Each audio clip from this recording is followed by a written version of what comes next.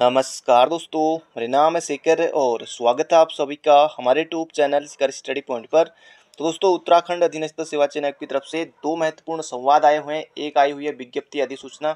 आइए हम इसे जानते हैं। सबसे पहले दोस्तों, देख लेते हैं संवाद दो सौ सत्ताइस उत्तराखंड अधीनस्थ सेवा चयन आयोग। जनपद रुद्रप्रयाग चमोली एवं उत्तरकाशी में पुलिस कांस्टेबल शारीरिक दक्षता परीक्षा आयोजित कराए जाने के संबंध में। अभी एक और आया है, उसे भी देखेंगे, बने रहेगा अंत तक। फिर अभ्यर्थियों, प्रदेश में पुलिस कांस्टेबल के पद पर चयन हेतु दस जिलों में सारी दक्षता परीक्षा अप्रैल माह में शुरू कर दी गई थी, किंतु चारधाम यात्रा की व्यस्तता के कारण तीन जिलों में यथा रुद्रप्रयाग, चमोली उत्तरकाशी में यह भर्ती परीक्षा शुरू नहीं हो पाई थी।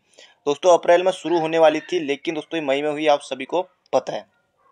दिनांक 15 जून से इन तीन जिलों में अभी पुलिस कांस्टेबल पद की सारी दक्षता परीक्षा प्रारंभ की जा रही है, एवं इनके लिए तीन जिलों में अभ्यर्थियों के प्रवेश पत्र आयोग की वेबसाइट पर प्रकाशित कर दिए गए हैं। इन तीन जिलों में क्रमशः दो दो स्थानों पर सारी दक्षता परीक्षा का आयोजन कराया जा रहा है। उपरोक्त तीन जिलों के स्थानों का विवरण तथा इनमें अभ्यर्थियों की संख्या का विवरण निम्नानुसार है।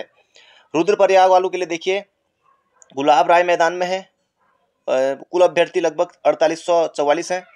रुद्रप्रयाग से टोटल जो है सात हज़ार चार सौ सत्तर अभ्यर्थी हैं।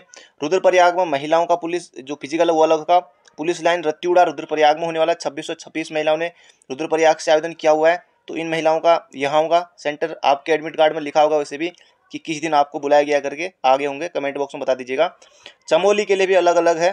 चमोली के लिए भी महिलाओं के लिए देखिए, स्पोर्ट्स स्पोर्ट्स स्टेडियम गोपेश्वर में महिलाओं का फ़िज़िकल होगा। पुरुषों का होगा पुलिस लाइन गोपेश्वर में। तो ग्यारह हज़ार अभ्यर्थी लगभग चमोली से हैं। उत्तरकाशी से भी लगभग ग्यारह हज़ार अभ्यर्थी हैं। स्पोर्ट्स स्टेडियम मनेरा उत्तरकाशी में पुरुषों का होगा। पुलिस लाइन ज्ञानसु उत्तरकाशी में, यहाँ होगा महिलाओं का फ़िज़िकल तो यहाँ, क्योंकि अब ये फ़िज़िकल भी पुलिस विभाग जल्दी जल्दी करा रहा है, वरना जैसे अल्मोड़ा में है ना तो अल्मोड़ा में एक ही जगह हो रहा है महिला पुरुषों का। तो जल्दी जल्दी फ़िज़िकल निपटे, इसलिए ये दो दो जगह आयोजित किया है। पुरुष अभ्यर्थियों की सारी दक्षता परीक्षा पंद्रह छः से प्रारंभ तथा महिला अभ्यर्थियों की संख्या बीस जून से ये आपकी प्रारंभ दोस्तों होने वाली है। बाकी आयोग ने कहा देखिए, यहाँ पर अभ्यर्थियों से ये अपेक्षा की है कि वे अपने प्रवेश पत्र व प्रवेश पत्र डाउनलोड और प्रिंट करा लें तथा शारीरिक मापजोक में छूट संबंधी प्रमाण पत्रों के साथ अपनी फ़ोटो, पहचान पत्र व दो फोटोग्राफ्स के साथ प्रवेश पत्र में निर्धारित तिथि को अपने लिए आवंटित सारी दक्षता परीक्षा केंद्र पर निर्धारित समय में उपस्थित होंगे। ये आपसे दोस्तों कहा गया साढ़े सात तक आपको उपस्थित होना है। ये आपके लिए दोस्तों सूचना है।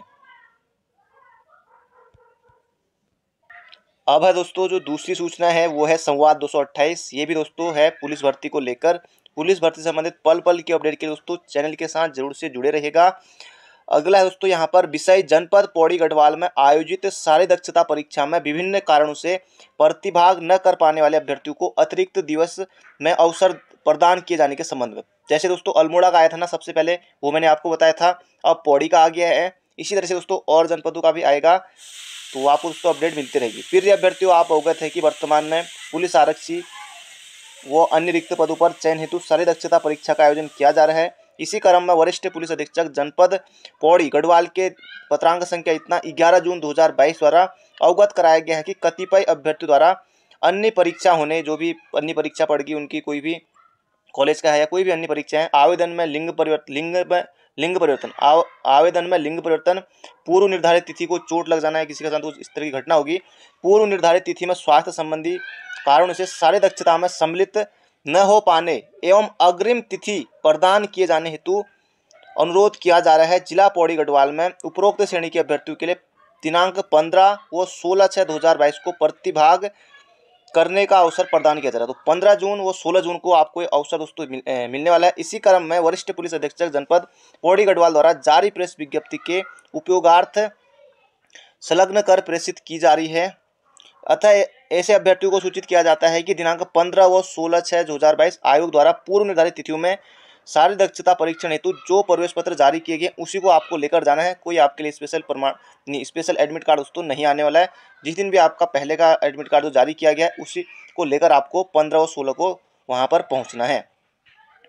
और बाकी ये यहाँ पर कहा गया है, पूर्व आवंटित तिथि में प्रतिभाग न कर पाने के कारण सहित तथा आवंटित तिथि को अन्य लिखित परीक्षा का प्रवेश पत्र अगर दोस्तों कोई आपकी परीक्षा थी तो आपका उसका एडमिट कार्ड आपको ले जाना है। अगर आप दुर्घटना में घायल हो गए थे या कुछ मतलब आपका स्वास्थ्य सही नहीं था, कुछ पैर में दिक्कत थी, जो भी था तो चिकित्सक का प्रमाण पत्र ये आपको लेकर जाना है दोस्तों पंद्रह व सोलह को। बाकी सारी दक्षता केंद्र दोस्तों कहें आपका रानसी मैदान पौड़ी में है तो छः बजे उपस्थित होना सुनिश्चित करें दोस्तों, ये यहाँ पर आपसे कहा गया है। बाकी दोस्तों, ये पौड़ी जो है पुलिस, वरिष्ठ पुलिस अधीक्षक जनपद पौड़ी गढ़वाल के द्वारा दोस्तों जारी किया गया है। या दोस्तों अनुक्रमांक अपने इतने से लेकर इतना यहाँ पर दिया हुआ है, ये सब आप देख लीजिएगा। बाकी वहाँ भी दोस्तों लिस्ट चिपकी होगी बाहर से। अब है दोस्तों दो जानकारी संवाद दोस्तों मैंने दे दिया है और अब दोस्तों ये है अधिसूचना विज्ञप्ति। दोस्तों ये भी मैं आपको पहले बता चुका हूँ, ये दोस्तों स्टेनो का डीबी को लेकर है, ये यहाँ पर बताया गया है। तो ये है दोस्तों, इसके मैं पहले भी दोस्तों इस पर मैंने वीडियो बना दी थी, बाकी पुलिस के लिए अभी दोस्तों ये देखा मैंने संवाद तो ये मैंने अभी बनाया। तो मिलते हैं बहुत जल्दी एक नई वीडियो में, अगर आपके मन में कोई सवाल है तो आप कमेंट बॉक्स में पूछ सकते हैं।